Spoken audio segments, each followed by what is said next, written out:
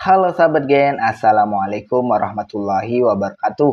Di video kali ini kita akan membahas kunci jawaban biologi kelas 12 bab 2 pada tugas aktivitas 2.17 pada halaman 109 di buku biologi kurikulum merdeka pegangan kalian.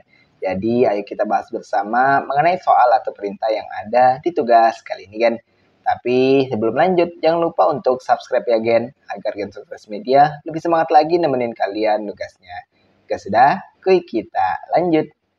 Bagian berikut ini adalah perintah utama yang mesti kita lakukan atau kerjakan pada tugas aktivitas 2.17 ini.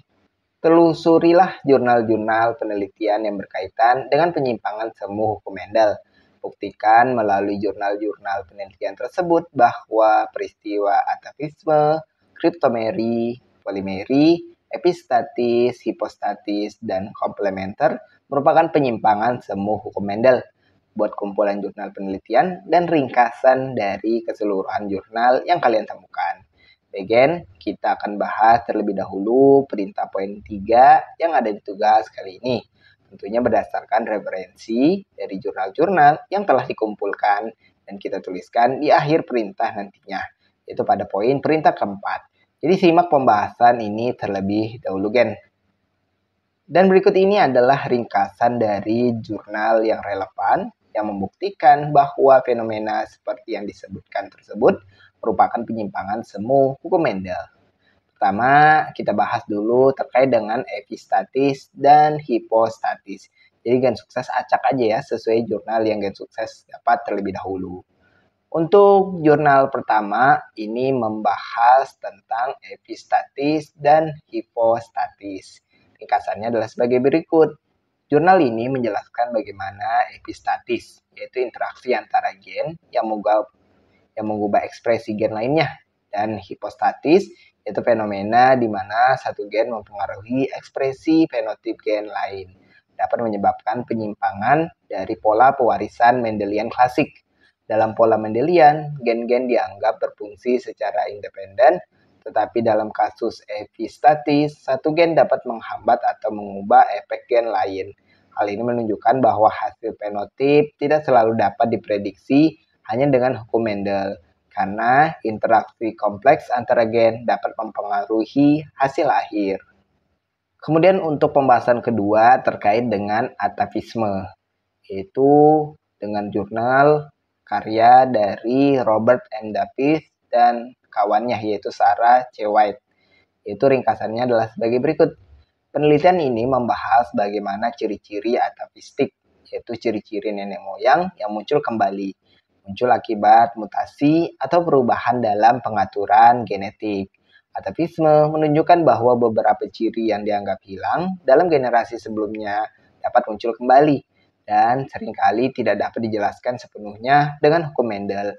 Ciri-ciri ini dapat muncul kembali karena perubahan dalam regulasi genetik atau mutasi yang mengindikasikan penyimpangan dari pola pewarisan hukum Mendelian.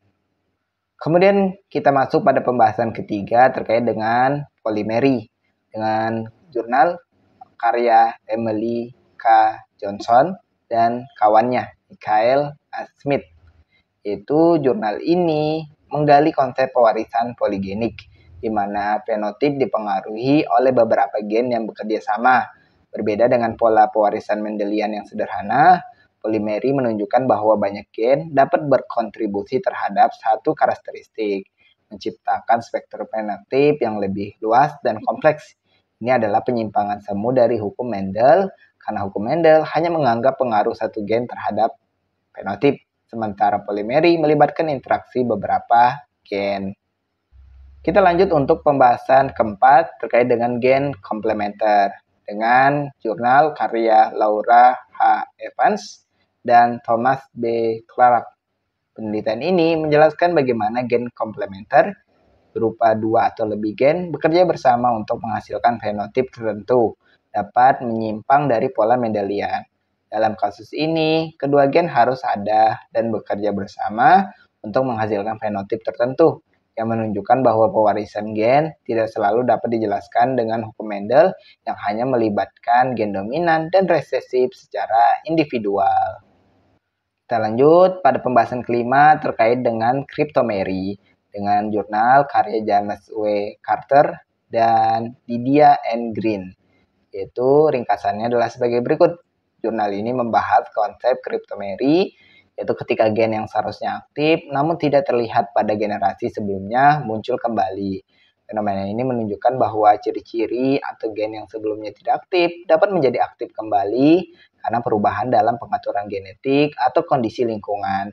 Ini menunjukkan penyimpangan dari hukum Mendel yang mengasumsikan bahwa gen berfungsi secara tetap dan tidak berubah dari satu generasi ke generasi berikutnya.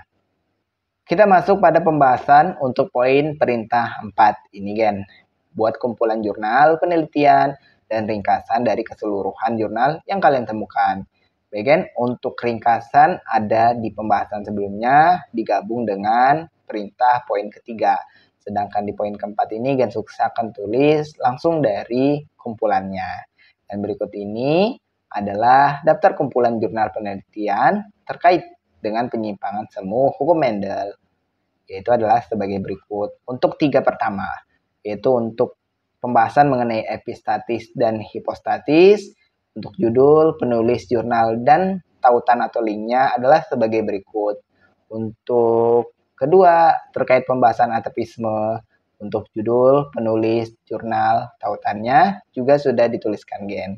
Dan untuk tiga, terkait dengan pembahasan polimeri, dapat kalian tulis untuk judul, penulis, jurnal, dan linknya dapat diakses melalui tulisan ini. Kemudian dua selanjutnya adalah ini, yaitu untuk pembahasan gen komplementer terkait dengan judul, penulis jurnal, dan tautan sudah bisa kalian salin. Dan untuk pembahasan terakhir mengenai cryptomery juga ada jurnalnya, yaitu mengenai judul penulis jurnal dan tautan bisa kalian akses.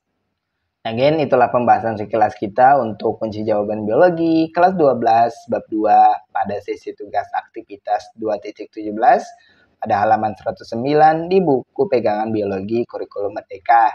Terima kasih karena telah menonton video ini sampai habis, Gen. Jika dirasa video kali ini bermanfaat, jangan lupa untuk like dan subscribe ya, Gen. Sampai jumpa di video selanjutnya, dan wassalamualaikum warahmatullahi wabarakatuh.